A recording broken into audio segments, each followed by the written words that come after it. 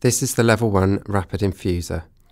It is used for the mass transfusion of blood products and crystalloid fluids for the prevention and treatment of clinical shock.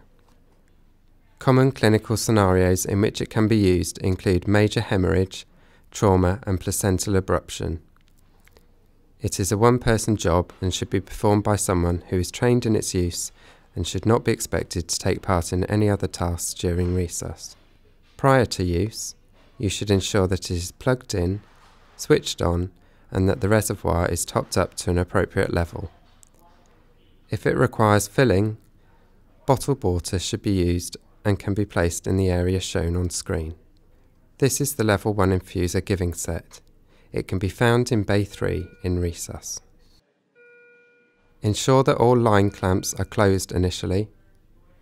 Burp the fluid bag before use.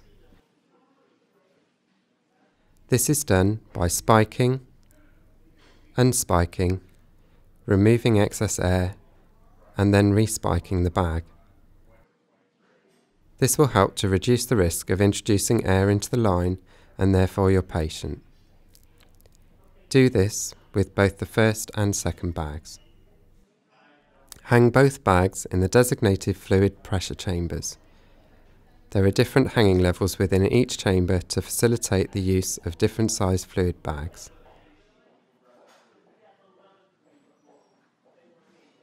Close the door and seal the unit. Both chambers are used so that fluid can be consistently infused by alternating from one bag to the next without delay. The heat exchange unit can now be secured into position slotting the lower blue end into dock 1. Clicking back into the rear wall and sliding clip 2 over the upper part of the unit. The blood filter is then fitted into dock 3 with the orange gas vent uppermost to allow gas to escape.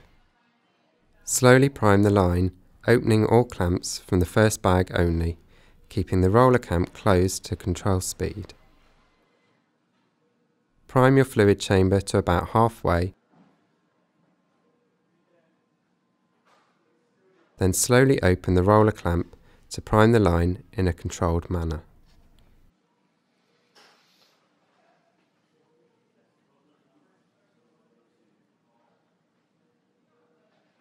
Once the line is primed for the first bag, clamp off bag 1 and complete the priming of line 2 by opening the clamp to the second bag.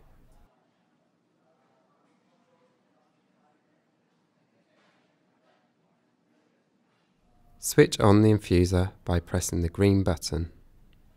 Once the display screen indicates that the water temperature has reached above normal body temperature, unclamp bag 1.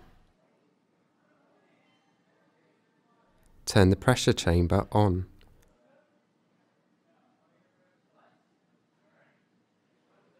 Connect the giving set to the patient via a large bore cannula. The giving set is weighty so care should be taken to ensure that it is secured well with tape and bandage to prevent dislodging of the IV cannula.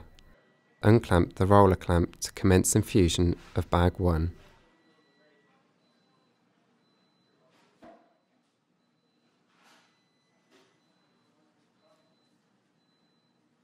Once the first bag is empty, close the roller ball and clamp off the line. Unclamp bag 2, switch off the pr pressure in chamber 1, switch the pressure on in chamber 2, and release the roller clamp to continue infusion. Replace the empty fluid bag in chamber 1 with the next bag of prescribed fluids. Continue to alternate between bags 1 and 2 until the patient is stabilised or ready for transfer.